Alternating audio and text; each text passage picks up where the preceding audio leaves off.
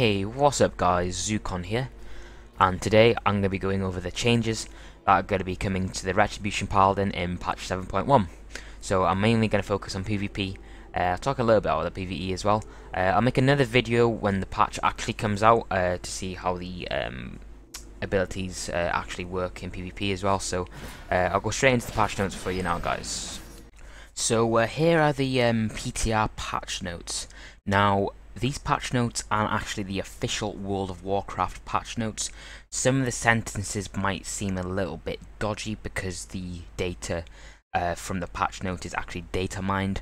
So you might get a little bit confused of the changes. Uh, they're not 100% set in stone yet, but I just want to go over uh, what we know so far. So I will make another video when patch 7.1 actually comes out and these changes have actually been implemented to the Ret Paladin. So uh, we can actually get the finalized changes and what they feel like for PvP. So basically what it says here about Holy Wrath is that it's getting a nerf. I don't know if the PvP side of it is getting nerfed. The 200% part is the PvE, uh, that's getting nerfed down to 120%, but in PvP it's 50% of our maximum health.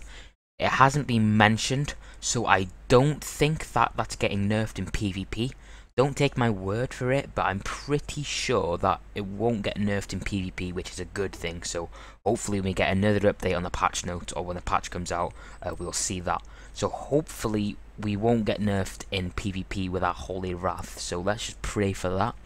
Uh, but it is definitely getting a nerf in PvE because it did deal a stupid number and Rets were just diving in like kamikaze bombers everywhere so it's not a big deal that that's getting nerfed in PvE. I'm not that bothered about it. If it does get nerfed in PvP I'll be a little bit pissed but I don't think it will do so let's just hope for that. And now Blade of Wrath is getting a redesign uh, I don't know what it's what's happening to the numbers. I don't think they're getting changed.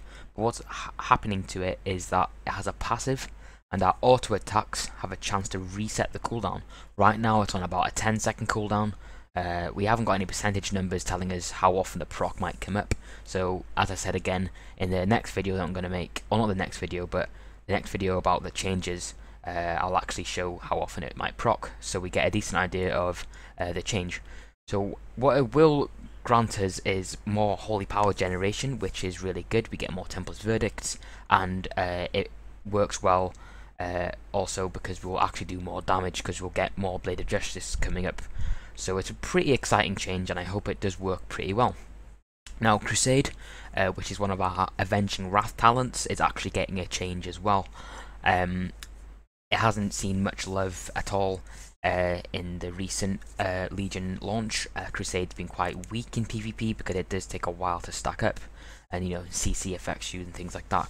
But what's happening now with Crusade is that when you pop your wings, your Judgment will get a, a buff while your wings are active, and basically what it will do is that your cooldown of your Judgment will get reduced by 75%, which is really strong and it will also generate one holy power which is really good because you'll be able to generate holy power at a range. We have no abilities that can do that so that's going to be really interesting. Um, it's going to be very similar to how the old judgment worked uh, back in Warlords of Draenor and Mists of Pandaria. So that's pretty exciting. Uh, hopefully it'll work out pretty well.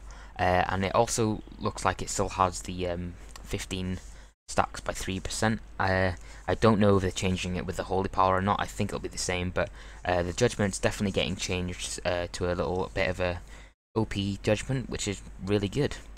Uh, also, you know, since it's got a 75% reduced cooldown, we're able to keep that 30% uh, or whatever it is, a percentage of your mastery, uh, or have like a 100% uptime in your burst, which looks pretty strong. So hopefully Crusade might see a little comeback in patch 7.1.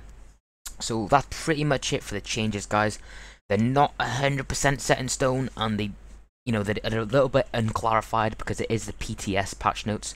So I will definitely make another video once the official patch notes come out uh, and the patch 7.1 is live, so we can actually see the changes for ourselves and how they feel in PvP uh, and what it will do to the Ret Paladin. So hopefully it'll be positive, guys. So uh, if this guys, uh, if this video gave you a little bit of a idea what's going to be changing with the Ret Paladin and it helped you out a little bit, then um, please leave a thumbs up. And if you want to see my upcoming Ret Paladin guide, which I'll do uh, once the PvP season comes out, uh, or when I reach like on level 50. I might do it when I reach before that. Actually, I, am not sure, but we'll see what happens. But if you don't want to miss my Ret Paladin PvP guide, make sure to subscribe to my channel, uh, and you'll be able to see it. So, yeah, guys, thanks for watching, and I'll see you in the next video.